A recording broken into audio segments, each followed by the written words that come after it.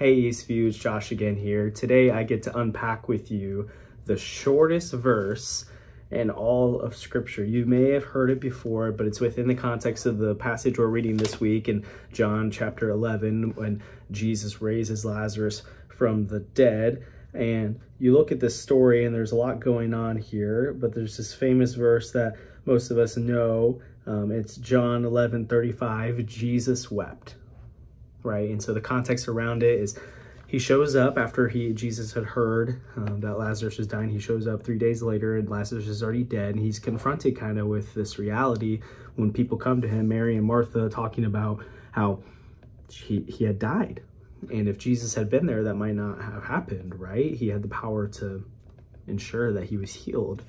Um, and so Jesus, after it says um, in verse 33, when Jesus saw her weeping and the Jews who had come with her also weeping, he was deeply moved. And we'll come back to that in a second. In his spirit and greatly troubled. And he said in verse 34, Where have you laid him? And they said to him, Lord, come and see. Thirst, verse 35, Jesus wept. So the Jews said, See how he loved him. But some of them said, Could he, could not he who opened the eyes of the blind man also have kept this man from dying? It's a great question. And honestly, I don't think four minutes is enough time to unpack why Jesus chooses to, or why we there's miraculous healings that happen sometimes and other times they don't happen.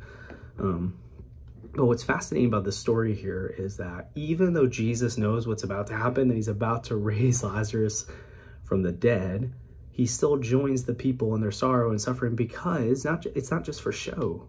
Jesus is deeply moved in his spirit. It says, again in verse 33 when they saw when he saw them weeping he was deeply moved in spirit and greatly troubled. And it's hard like translating that um, from the greek is there's a couple different opinions but something i found really powerful is that some of the translations talk about how how he felt internally was even more sorrow than the tears that he was displaying verse 35 uh, Jesus, like he was crying in front of them, but inside he hurt even more about the idea of his friend Lazarus being dead.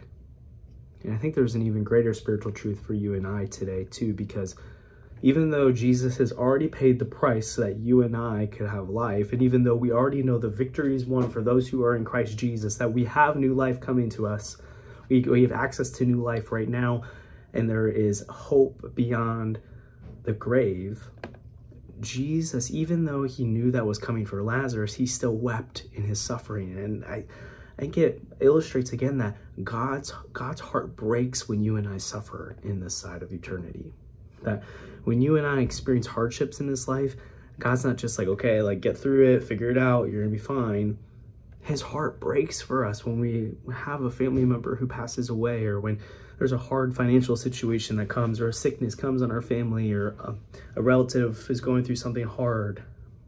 God's heart breaks in those situations because he cares deeply and he chooses to join us in our suffering. That's why he died, so that he could join us in our suffering. That's why he came to this earth, so he could join us in our suffering and then show us the path to better life. So maybe you're in that situation today. Maybe you feel like you're really suffering today.